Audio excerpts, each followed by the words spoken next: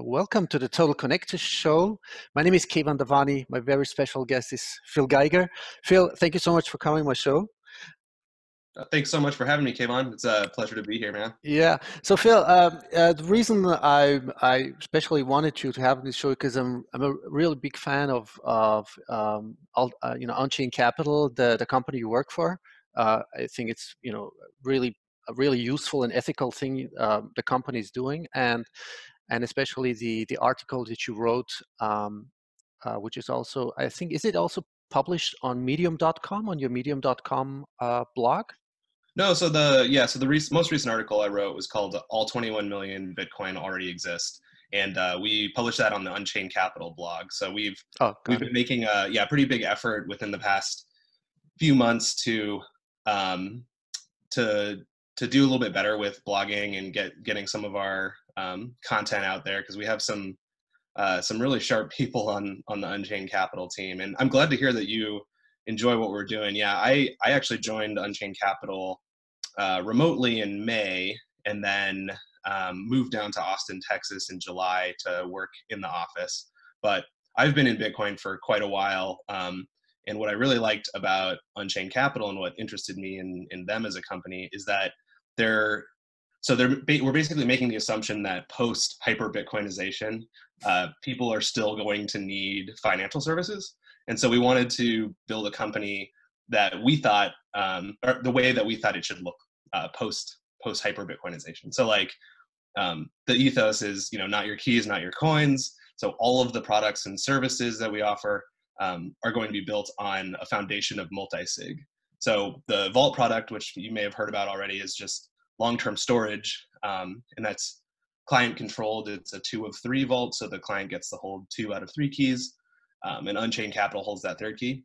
But what I think is really interesting are all of the different like future products and services we can offer using this scheme. So the first one is um, our Bitcoin collateralized loans. So the Bitcoin's deposited into a multi-sig address, and as a client, you get to hold one out of three keys for the entire duration of your loan. So I think that's kind of interesting. We're the only company that's offering, you know, financial services in that way so far, and we think that's what financial services should just look like with Bitcoin, where you're maximizing the amount of security that you get um, from holding on and authenticating with your own private keys. Mm-hmm. Um, yeah.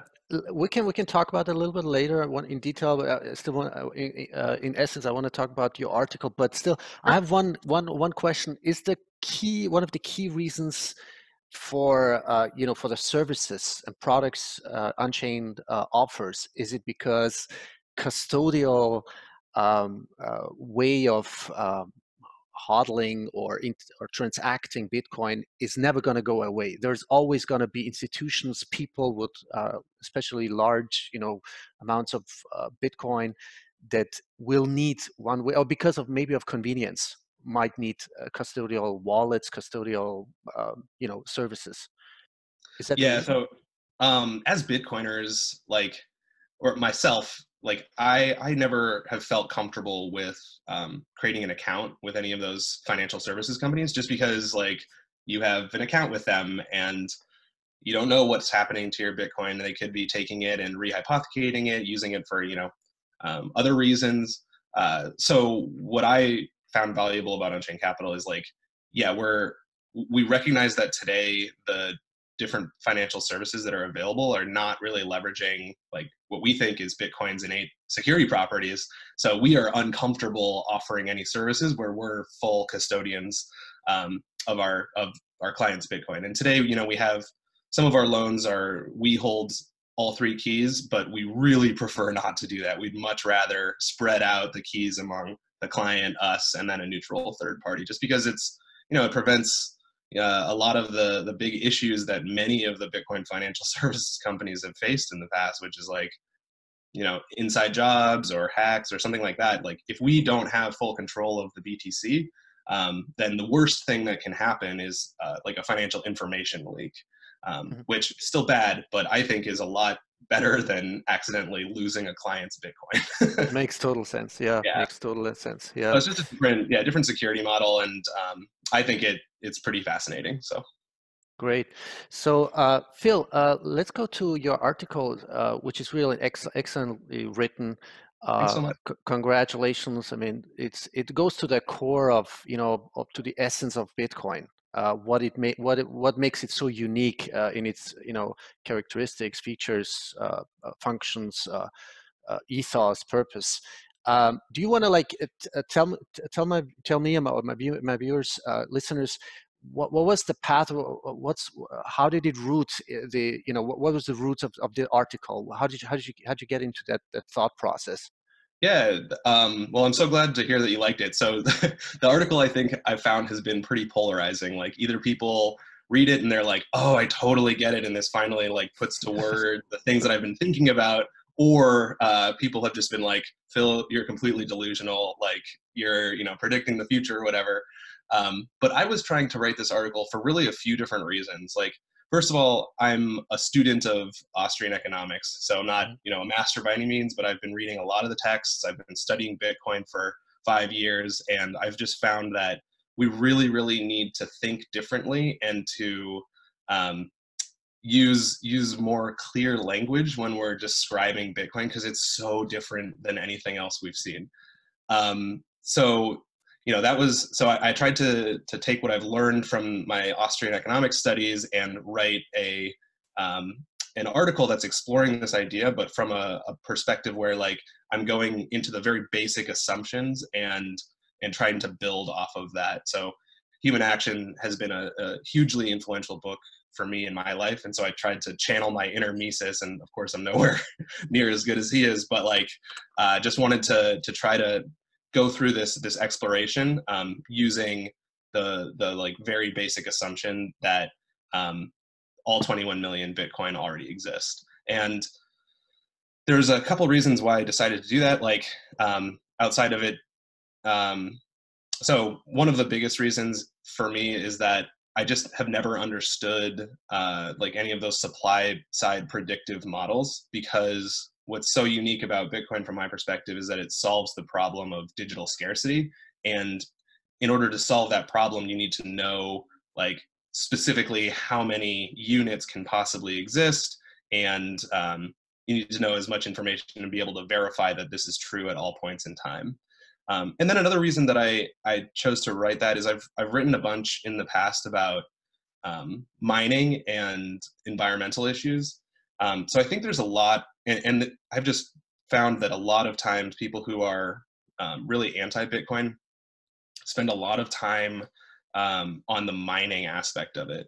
And from my research, I've just kind of determined that mining is like, it's just not a good description of what's actually happening here. It's, you're not really mining new coins, it's just a different form of transacting, right? So people have the ability to transact Bitcoin with private key um, like by signing a, mess- uh, a transaction with a private key. Uh, and then the other form of transacting is by selling electricity to the network, um, which we call mining. Um, so there's been a couple articles recently talking about how you know Bitcoin's going to be insecure after the next X number of halvings. It's never very specific, of course. Um, and then also uh, some articles just saying like, oh, Bitcoin's an environmental disaster because mining uses electricity. And I just think that these these are just fundamentally incorrect and i was trying to figure out like well wh- why did it not make sense to me? And, and i think it's just because i don't view miners as creating new supply. I think that the supply already exists and it um, like i said before there's just a couple ways to transact. Um, yeah. So um, let me let me uh, i wrote i wrote down some of your quotes out of your article. Mm-hmm. Bitcoin. Uh, uh, it goes on something like that, like rapid monetization of a scarce, apolitical. I like that because there's so, so much discussion whether Bitcoin is political, non-political, mm-hmm. and in my understanding, it makes politics or monetary policy uh, and politic, political structures, political entities in the long run actually obsolete that's why it's for me non-political or does it right i mean apolitical means non-political right i mean yeah and when i say apolitical like i i mean that it like I think money or legacy currencies are just inherently super political because you have essentially government control over the supply, and so whoever's in the office is going to at, at the given moment is going to you know have a different policy than another one. So it just like makes it super political. And I view Bitcoin more of like the internet, right? I don't think the internet itself is um, is inherently political. It can be used for political reasons, but by itself, like the internet is just a tool that connects people internationally. In in the same way, Bitcoin is just a currency that is um, neutral, treats every single participant equally under the very very fixed and um, well understood rule set. So um, yeah, so that's apolitical to me. I mean, I think you can.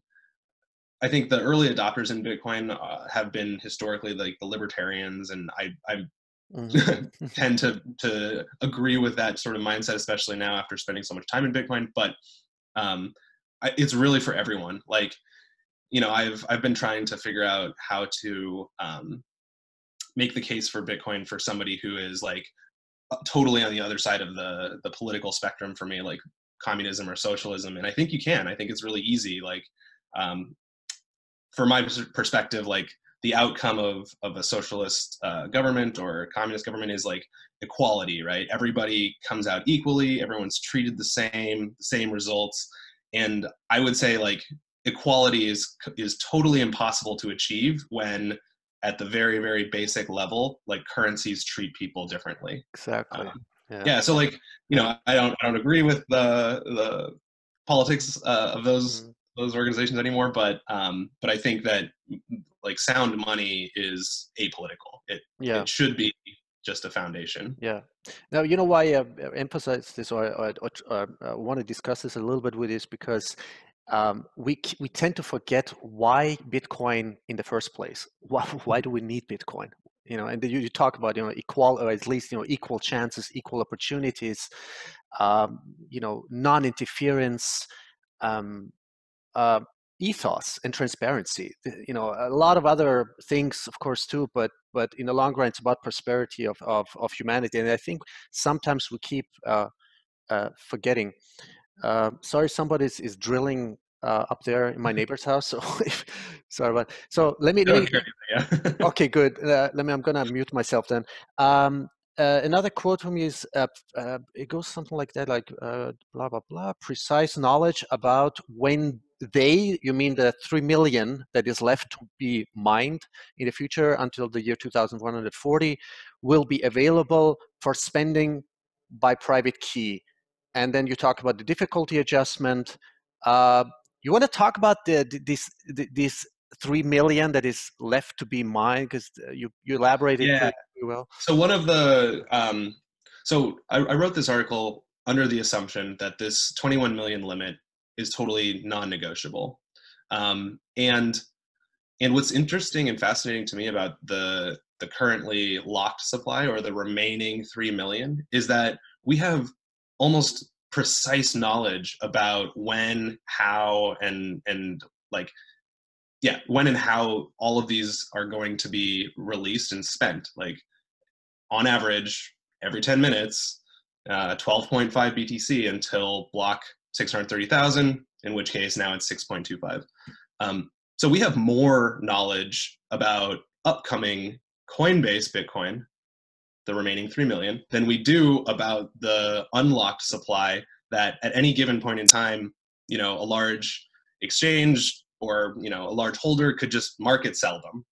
So like all of these um yeah i, I just think that that like what's so, so, fascinating about bitcoin is it gives us almost perfect knowledge about the supply especially the upcoming supply. Um, and at any point in time we can validate it. And so like you know while you're running the software at home that if if any you know upcoming block contains a different coinbase transaction than what we expect then it's going to be invalidated and we've seen that a ton of times. So um, i think just a couple months ago for example there was a, a miner that accidentally tried to put um, higher than 12.5 uh, coinbase transactions in, in the block that they discovered and it was just rejected by the network. Um, in the past you know we've seen inflation bugs where actually from a technical perspective the blocks were accepted and propagated but that validated that social construct that we all um, agreed to. And so uh, what happened was the network, from a social perspective, viewed those Bitcoin as out of consensus or as a minority hard fork. And node operators ran a totally different software that uh, upheld that 21 million limit. So the, the entire network is designed and built around maintaining that 21 million. Um, so that's what I think is super fascinating about it. It's the only only network, um, or really only asset that humans have ever come in contact with where the supply is completely immutable, um, and it just pushes against all of our incentives to try and create more of it, um, and that's through the difficulty adjustment. So the difficulty adjustment is in there's a lot of people who've been who've spoken about the difficulty adjustment much more eloquently than I can, but um, it's amazing because it it just actively rejects our best efforts to increase the supply, um, and at the same time, it means that Bitcoin is always and there's there's never a case where this isn't true, but Bitcoin is always as secure as it is worth. Um, so the value of a Satoshi can change. It can go up, it can go down. Um, the number of sats that it can exist in the network can never change. Um, and the difficulty adjustment is what changes so that at any given point in time, there will be people who can sell electricity to the network profitably to secure it um, yeah, the amount of electricity that they sell might decrease. And we've seen in the past, like um, the hash rate kind of goes up and down. You know, after the 2017 run up, the hash rate was crash- crashing. And then there was the mining death spiral FUD out there again, which kind of comes around every few years. Um, but the network just recalibrates itself, it, it adjusts itself to exactly the right amount of um, electricity that it needs to protect itself at a given point. So just by definition, the network can't be um, can't be less secure than it is worth. Like it's always it's always providing the exact right amount of security because of this difficulty adjustment. Yeah, I find this you know really fascinating to think about because. Uh, uh, it is unprecedented, right? It's mm-hmm. never been done in human history. I think this is also maybe the problem we have to extrapolate this into the future or, or project this into the future what what society because we first of all we never knew how you know not even our, not our generation not our previous generation what it is like to live under the gold standard hard money maybe our grand grandparents right uh, mm-hmm. before mm-hmm. 1914 or something like that right so um, so this is uh, so there's uh, some uh, really distinctly uh, unique features and and bitcoin on the other hand also has like perfect attributes or features like, like whatever divisibility portability recognizability. Now i want to ask you something because I've, I've had this discussion of a couple of times even with my girlfriend she said well what if you yeah i mean divisibility is okay but what if they start dividing one satoshi into you know smaller units? Then you have more. And i'm like no you don't have more. The, the, the 21 million that's it. But it doesn't uh, prevent us if it's needed to? What if one satoshi you know in 10 30 years time can buy you know uh, a whole house you know? I, am just saying uh, so yeah.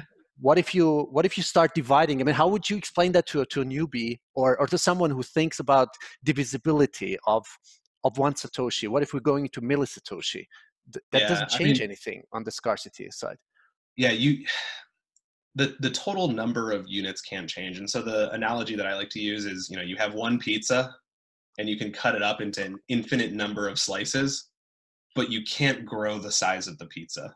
Mm-hmm. Um, and in in some to, to some extent, this actually also holds true with any other currency. But what's different is you're not growing the value of the currency, you're just increasing the number of units. Right. Um, so Bitcoin, the number of units cannot change, but the value can change tremendously, right? Like mm-hmm.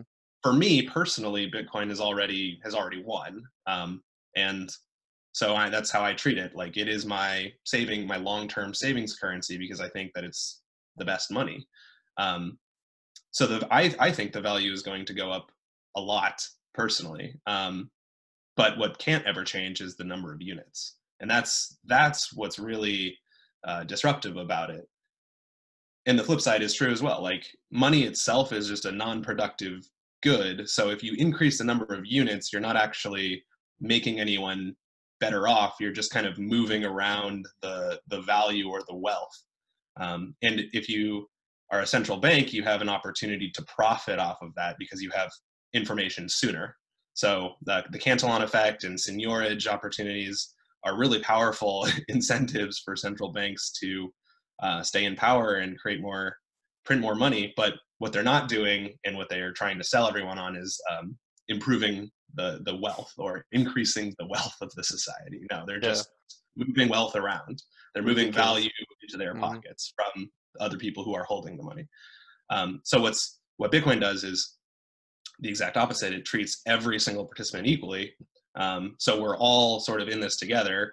Um, and it's important to note that you know if you're buying into Bitcoin today, there are still three. There, there's three million BTC worth of value that is going to be slowly uh, transitioned from being held by the network into private key uh, ownership. So that's that's sort of my the crux of my argument is it's just uh, you know after the first block was found there were enough units of btc to serve an economy because you can remember cut the pizza into smaller slices um, with just 99.9% of the total units held by all of the participants equally um, so we you know we like to i think people just get really hung up on mm-hmm. uh, like a number um, but really the the much much much more important thing to focus on is the value. Um, you know one btc back in 29 uh, 2009 was worth nothing. Now one bitcoin can buy you a you know a sweet used car. Um, so the number hasn't changed the value has changed. And then in the, like projecting into the future um, you know the the number of btc released every 10 minutes is going to decrease. So the value has to change. Either the value changes or the amount of electricity that is contributed to the network changes. But we don't have to worry because the difficulty adjustment always makes sure that we're using electricity efficiently to protect whatever the value of the network is at that moment. So it's, yeah it's a perfect yeah. harmony isn't it? Yeah it's crazy. Like you know sometimes I think like um, like th- this discovery is, is, like so disruptive and such a eureka moment that Satoshi and crew or whatever just couldn't have even predicted uh, like some of the outcomes. So one of my, for example, one of my previous articles that I wrote like earlier this year in February was about uh, how ASIC chip technology is is going to be the future of renewable energy. And I think you've we've probably heard heard enough about um, like the environmental impact of Bitcoin. Um, you know, ad nauseum, like the mainstream media is like, oh, it's terrible, it uses electricity. Um, a lot of a lot of good Bitcoiners have written articles about how um, it's bad for the environment, but it's really like if you if you go down to the very very basics, like all Bitcoin demands is the cheapest electricity it can find. Exactly. Like, so what's the cheapest electricity? In my paper, I went on and discovered like humans are super inefficient at energy production. Um, all of our renewable energy installations suffer from curtailment problems, which is when they produce too much supply that they have to shut off production. And uh, that ends up accounting for like hundreds or maybe a hundred terawatt hours of electricity around the globe. And that's, you know, three or four times the amount of electricity that Bitcoin uses today. So just the electricity that we waste um, from shutting off production of our renewable energy sources is already three times or four times the amount of electricity that Bitcoin needs to survive. So there's a huge, huge opportunity for miners to get bundled up with renewable energy producers. And, and this is kind of the crux of my previous article is that mining itself isn't its own industry, it's part of electricity production. Um, and you know we're seeing we're seeing them move closer and closer together um, with uh, people like upstream data who's you know mm-hmm. uh, you know putting i think just today he steve tweeted out like mm-hmm. he capped a vented methane uh, yeah. I mean, what, what, what, could be more efficient? Like using the gas that's already going into the atmosphere or yeah, wherever. Don't, yeah, and don't waste maybe the environment you know and actually the environmentalists should you know stand up now and say hey we should we should actually push push this you know but you know instead you know they're all riding on the co2 hoax but okay that's I know, my yeah. i know you know i got my it's own the, and and it's it just comes down to that that basic lack of understanding where bitcoin demands only the cheapest electricity. Like and it, it will it will burn all of it. Like it will take as much electricity as you give it but at some point it's going to be worth it more to spend or to sell electricity to the grid or to people or to other uses and then you dump the remainder on bitcoin. But what that means is like you know it, it, first of all it incentivizes people to go out and find areas that are wasting electricity today but it also adds another incentive for people to go out and create and produce more efficient or cheaper energy um, so I think this is really good for things like renewables. It's really good for things like nuclear energy because now, like now that we have Bitcoin and ASICs, it removes the demand side of the variable supply and demand equation. Um, and so now producers can just focus on producing as much electricity as they can and then choosing where to sell it. Do they sell it to people? Do they sell it to Bitcoin? Doesn't matter. You're not wasting it. Exactly. Yeah. And yeah, is it so, worth it? You know, the total question, overall total question, is it worth it? Definitely it's worth it. I mean, yeah. we don't want to go you know, into the really horrific, detrimental side of sort of side effects of the Keynesian easy money uh, uh, system we live in. I mean, what is, mm-hmm. what are the consequences? The long-term consequences, you know, wars, destruction, uh, malinvestment, corruption. I mean, all these things. I mean, uh, this is a totally new uh, I think territory or I don't know new. Uh, I would really call it evolutionary because uh, it's never been done before, and it creates new structures while making the old ones obsolete. But understanding this process, I think, is is really hard for people because mm-hmm. they can't even imagine what kind of you know societal changes and economical and, and ecosystem changes we could have on a healthy soil such as bitcoin yeah i mean it just i think one of the quotes in my article is I, I just say that Satoshi crowdsources the decision of a lot of these things just to the free market. And what we've seen so far is that the free market, you know, first and foremost upholds the 21 million limit. And this is like, at this point, I think it's non-negotiable. I mean, people are going to still FUD out there, but for those of us who have been in it for a while and have been running our own nodes and have, I like I participated in the user activated soft fork like the 21 million limit's not changing. I mean, we've seen Bcash, we've seen all of these um, inflation bugs pop up. Mm. So I think the 21 million limit is like completely non-negotiable at this point. Um, and I don't even know where I was going to go with this, but sorry, like, got, got yeah, distracted. no, it's okay. Um, but uh, yeah, I, I forget what, what, where I was going, but no problem. Yeah. yeah. Now let's go to the next point. Um, sure. uh, Phil, um, you wrote. I hope I can write my own. Uh, read my own uh, writing.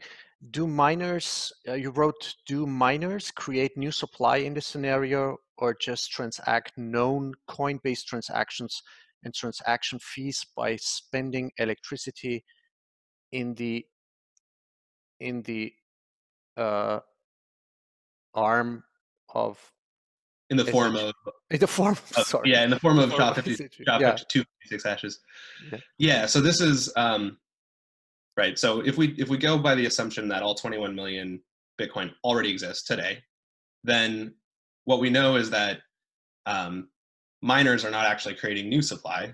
They're just burning electricity converting it into hashes and transacting or competing to transact that coinbase uh, fee every 10 and a half uh, 10 minutes as well as the transaction fee coins.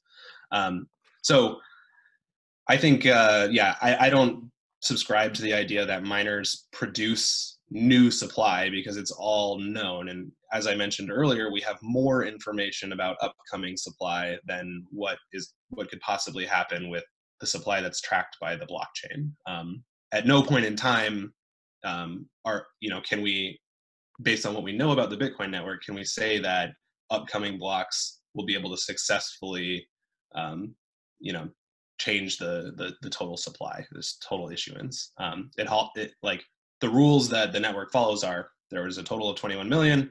Here's exactly how they're released. anything that doesn't follow that path isn't Bitcoin, in my opinion. So um, therefore, we can say, like, since we know with near perfect information when and where these these Coinbase Bitcoin live, they already exist. We don't need to worry about, um, oh, is there going to be like a massive influx of supply at some point in time?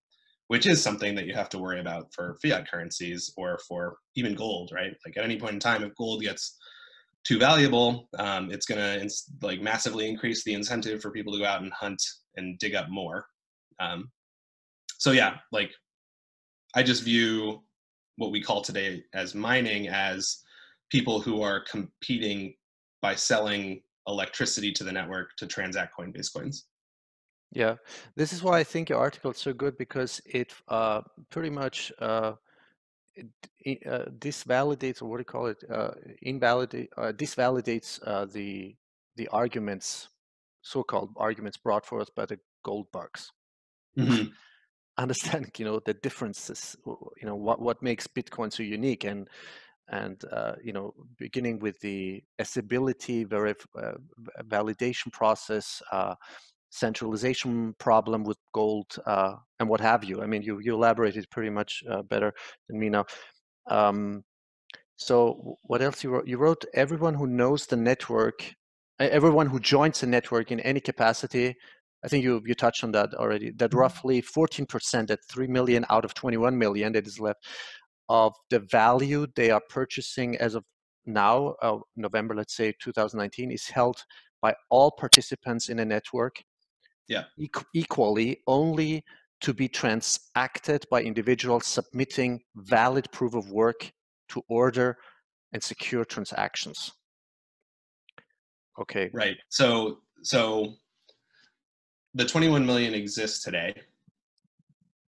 Who or what owns them is different right? So so there's uh, 18 million that are held in addresses that can be transacted via private keys, and then the remaining 3 million are living currently in their Coinbase uh, location um, of the block that they're they're living in. So what we can say is that so we look at the overall value of the Bitcoin network, and it's um, what is it, 100 something billion dollars in mm-hmm. measured in dollars. Well, we know that 14% of that is locked up in um, Coinbase, uh, in the Coinbase of the block that they're designated to be in. Um, so that's you know roughly 14% of the supply. So I think the the takeaway there is when you're buying Bitcoin, remember it's not the number of you, it's not the units of the currency, it's the value of currency that matters. So the so 3 million out of 21 million of the value is held equally by everyone and then only to be transacted according to the rules that we all follow which is selling hashed electricity to the network um, and every 10 minutes and then mm-hmm. halving every four years roughly there's one point uh, it's always brought up but i still don't know how to how to understand it um, it's this conservatively the number of bitcoins that have already been lost either mm-hmm. you know because Satoshi whatever dead or never moved or bo- uh, boating accidents or you know yeah. or inheritance problems or just people just you know lost the wallets. What do you make of that? I mean, those coins that are lost, whether they're two million or four million, it's like different conservative estimates. Yeah, I mean, I think that's a kind of another point that highlights that we know a lot more about the upcoming blocks than we do about mm-hmm. the currently existing um, BTC stored in addresses tracked by the blockchain. I mean, yeah, there's we don't even know exactly how many Bitcoin are lost or if they're permanently lost. Um, so Satoshi, we know, has um, a million at least BTC, and uh, but what we don't know is that is if they'll ever choose to spend that. It might be gone forever. It might be spent. We have no idea, no way of knowing that. So that's just another thing that you, as a participant in this network, need to understand is that and, and, this is true of any currency like you're, you're never going to know exactly when and exactly how people are going to choose to transact um, uh, from the, the bitcoin that they hold. What we do know is how and when the network will transact. Um, so yeah it's it's just kind of flipping that argument on its head i think a little bit like um, yeah there's there's probably what three to four million lost coins probably Um, that's just something that you have to keep in mind, and that's ultimately that that actually makes it better for uh, people who have maintained control of their private keys because it means that their uh, Bitcoin are even more scarce than what we thought. So if there's you know a million BTC sitting in a landmine, that's a million BTC that will likely never um, uh, landfill rather. That's a million BTC that will probably never be transacted. Exactly. Yeah. yeah. So more scarce. Mm. Good. Mm-hmm. I, I, say if you've lost your coins, you're you're donating the value to everyone equally. yeah, yeah. Is that is that something like Satoshi even said himself in one of his quotes, or what is somebody else? anyway, it's yeah. Um, um, we have and then another quote out of your article says we have nearly 11 years of empirical evidence that the network itself has been holding and transacting bitcoin but instead of uh, but instead of with private key signatures it is in exchange for hashed electricity. Okay you you talk about that. It's it is uh, it's the same of the overall network that matters and the value of the network uh, they were growing somehow that its monetary pro- properties are sound. Yeah. So yeah, like about, yeah. um this this whole so i mentioned in the beginning like i believe that bitcoin solved the problem of digital scarcity. And something that is both scarce and digital is like incredibly difficult to create and it's only solving that problem if this limit is 21 million and fixed if the limit can change, then it hasn't actually solved the problem of digital scarcity. Um, that's another reason why I think like any altcoin or fork of Bitcoin in the long term has absolutely no chance because from the outset, from their creation, they've unsolved this digital scarcity problem that Bitcoin solved. Like something that's digital usually by definition can't be scarce because you can just copy and paste and whatever except for bitcoin. Um, so unsolving that to create your own altcoin is a losing proposition in the long term and you know people can increase their their bitcoin holdings in the short term by day trading and stuff like that. I don't consider myself a trader. I'm a, a meager hodler hodler yeah. last resort so i don't yeah. i don't trade i just save in btc um, but yeah like the, the whole crypto cryptocurrency asset class just makes no sense to me because it's not scarce only bitcoin is scarce bitcoin's the only exactly. the only example of digital scarcity um, because yeah i i, I yeah. articulate yeah, totally agree. Yeah, yeah, yeah. That's it. Now we got to emphasize those those points. Yeah. So it's so crucial. Um, so another thing you said, uh, increasing uh, decentralization over time effectively. I love that sentence. In increasing decentralization over time effectively crowdsources the decision of Bitcoin's total supply to the entire network of participants with the basic assumption that a decentralized network of individuals will not choose to debase their own currency uh, when each participant does not have access to seigniorage opportunities. Yeah, exactly. Love that. Thank Love you. It. Yeah. So, so um, I kind of touch on a couple points here, but Bitcoin solves the problem of digital scarcity by increasing in decentralization over time. So we talk a lot about like, oh, this is centralized, oh, this is decentralized. It's it's nearly impossible to measure or to predict the exact right amount of centralization or decentralization. So what I think Bitcoin uh, is designed to do is increase in decentralization over time. So it gets increasingly more decentralized, um, and that's completely different than um, really anything we've seen before as well. So with gold, right, it's so heavy, you have to centralize it. With um, fiat currencies, they start out centralized. With altcoins, they kind of um, they kind of go through this uh, like explosion of decentralization at the beginning, and then slowly centralize over time. And I think the best example of that is like Ethereum. Um, so it started out, it looked like it was going to be another competitor. It was getting more and more decentralized. But then in the last three years, I mean, we've just seen it centralize substantially um, to just a few different companies running full node and stuff like that. Um, but Bitcoin um, over the long term increases the amount of decentralization. So that's um, yeah, that's incredibly important because uh, and it's it's sort of uh, I think it's very like Austrian economicsy of it because there's no no possible way for one individual to know what's the right amount of decentralization. It requires an entire market of participants making their own decisions um, to to ultimately protect the network. And um, yeah, like you know, because we have uh, what is it like 15 14 15,000 nodes at this point that are public um, like we can say that with a high level of certainty a majority of those people are not going to vote with their software to devalue their currency like that's it just doesn't really make sense especially when they have absolutely no advantage over anyone else like the reason we devalue currency today or not we but central banks and governments devalue currency is because they have a massive advantage. It's it's profitable for them to print money because it's extracting wealth. And we talked once again about units versus uh, value, but they can extract value by creating more units. They're going to do that. Um, you know, it takes us hours of our life and effort to earn money, and the opposite is true from that for them. They actually just profit off of not doing anything, just printing mm-hmm. money. so it's like exactly. um, yeah. So the the basic assumption that Bitcoin makes is that the market is going to choose the right um, the right inflation schedule.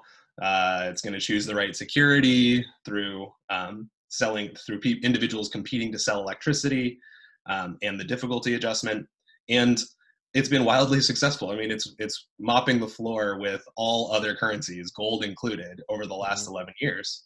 Um, you know, it increases and decreases in value in the short term, but in the long term, I mean, if you start measuring uh, other currencies in Bitcoin as the standard, they're all just like dead. Like the best performing yeah. currencies are a couple other alts and they're looking really bad. Like mm-hmm. I think the mm-hmm. best performing currency over the last 11 years measured in Bitcoin is Ethereum and it's been losing value to Bitcoin for the last 3 years almost. So yeah. it's like like Bitcoin's a beast. It's not going anywhere. Yeah. Yeah, yeah, it's amazing. I mean, uh, you are one of the not even few. There's a, no, a growing number of people like me, like you, that have a strong conviction, a strong mm-hmm. understanding, you know, strong trust in the you know uh, evolutionary process and future you know and, and logical uh, process of bitcoin and what i was going to ask you is that i know it, uh, it uh, people don't like the question because it always goes into prediction speculation but what would you say is the critical number of or critical adoption rate and the, or or even you know critical adoption rate of nodes people having you know finally their own full sovereign nodes uh, what would be the number of hodlers uh, yeah. if there's conservative estimates are approximately 30 some people talk about 50 million some talk about 100 million hodlers let's just say there are 30 million. But what would you say is the tipping point where it really where you say okay the pandora's box has been it's been open for a long time now 11 years but now it's really like you know exponential growth. It's like the tipping point where everything is like on the trajectory curve. This is like the most exciting uh, yeah I, there's a couple people out there who have been saying like we're living in hyper Bitcoinization right now, and I agree with them. Like, mm-hmm.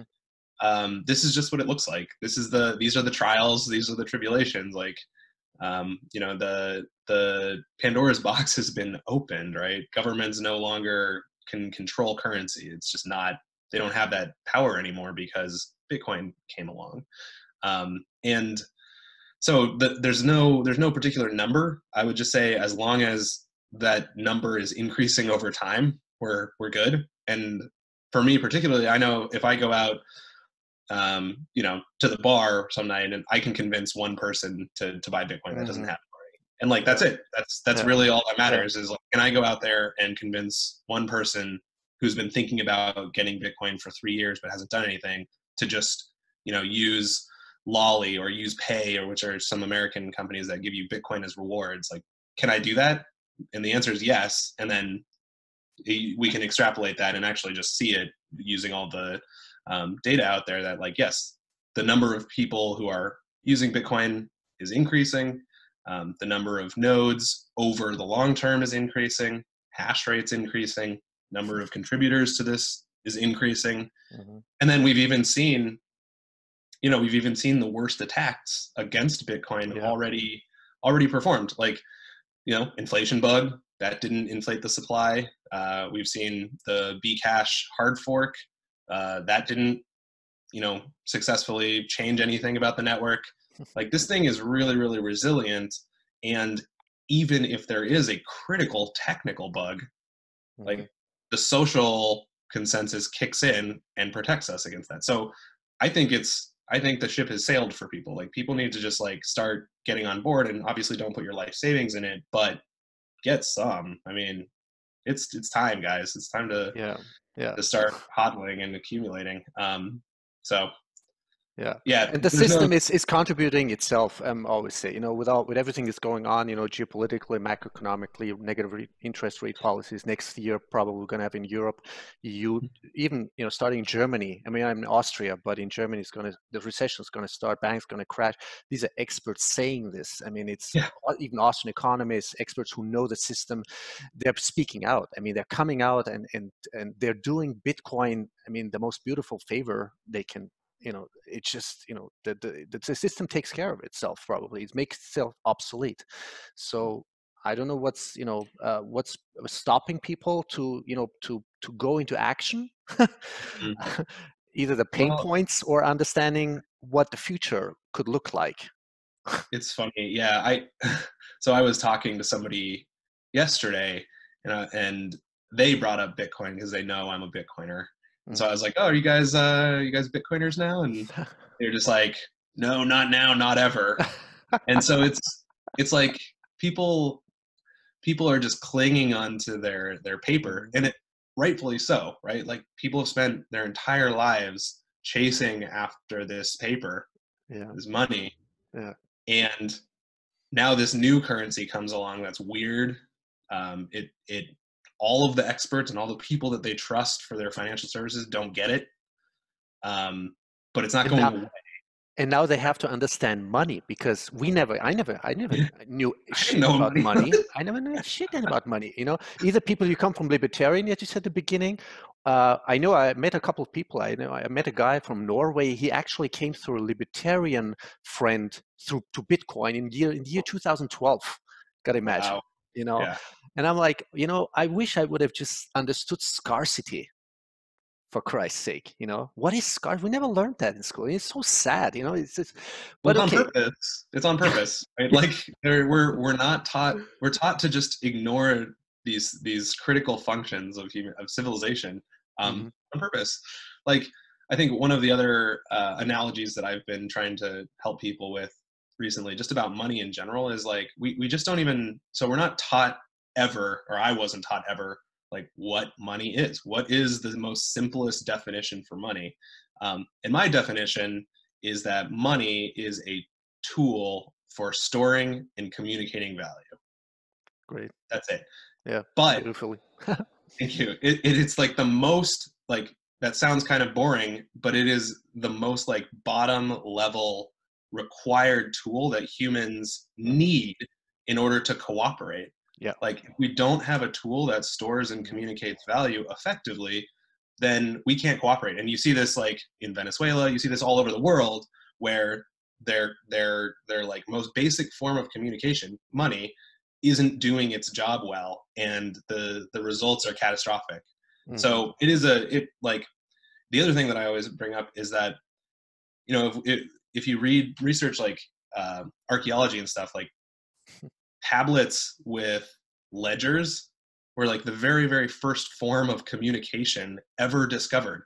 So what that tells me is that money solves a problem before like almost anything else in an emerging civilization. Like before you can, you know, create written language to be able to speak, you need to be able to track and communicate value like i don't know so anyways like it's a foundational tool and if it is distorted then everything built upon it is going to be distorted So we yeah. need a we need a rock solid tool that with very very clear rules, fixed supply that we can use as a as a as the best measuring uh, stick of of value and the best communication tool.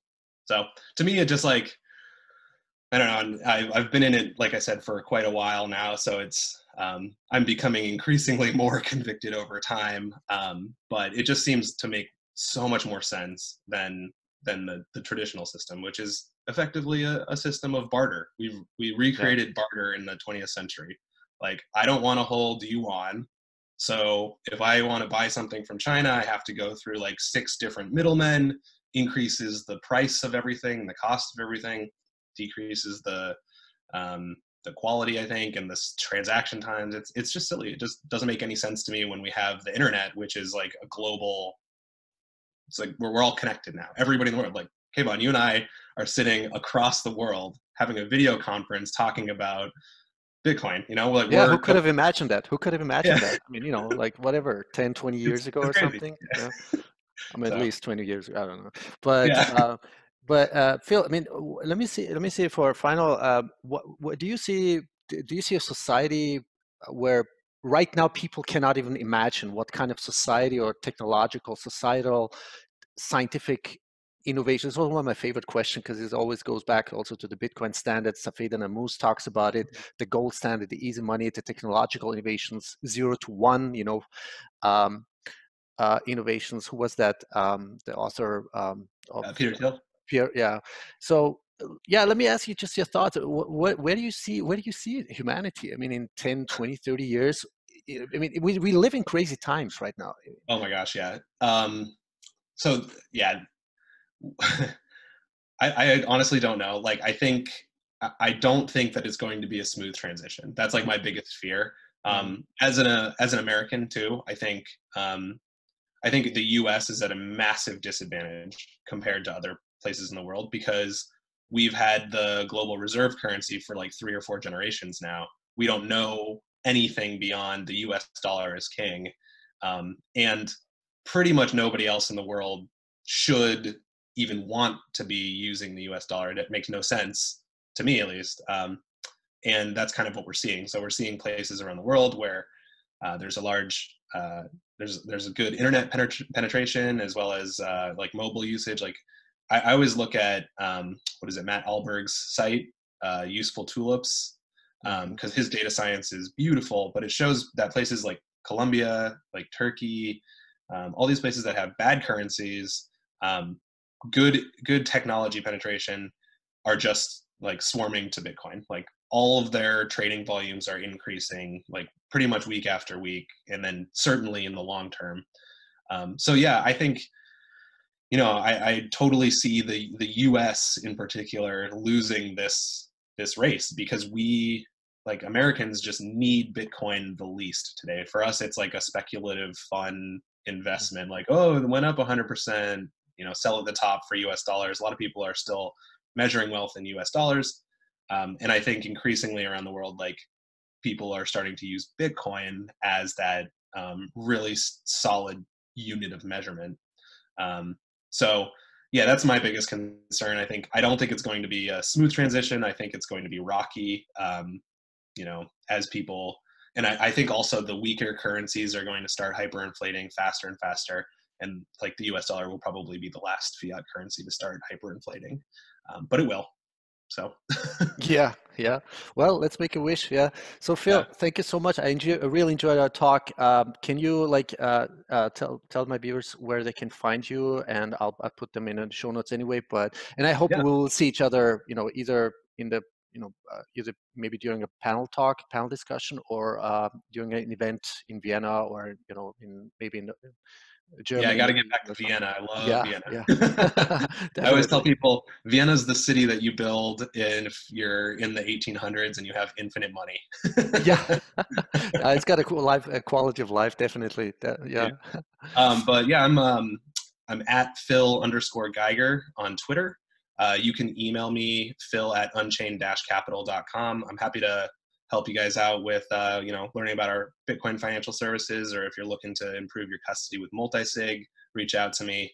Um, and uh, yeah, I'll, I'll, be around. So I think Twitter is probably the best and easiest way to reach me. You can always DM me. Um, and uh, I like to mix like uh, my, my Twitter profile is like a mix of of weird, inane humor and Bitcoin economics. So yeah, and a passionate biker I've seen. Already. Oh yeah, that's right. And I love great video. Yeah. thank you, thank you. I love mountain biking, so I'm gonna probably do a few more mountain biking slash Bitcoin videos and get them out there. okay. Well, keep up your beautiful work, oh, uh, Phil, you. and I hope we'll see each other soon. And yeah, all the best. All right. Yeah, Talk to you soon. Thanks so much, Keyvan. Bye, Phil. Bye-bye. Thank you. Welcome to the Total Connector. My name is Keyvan Davani. Total Bitcoin, total freedom. The hardest and scarcest money ever created in human history. Bitcoin.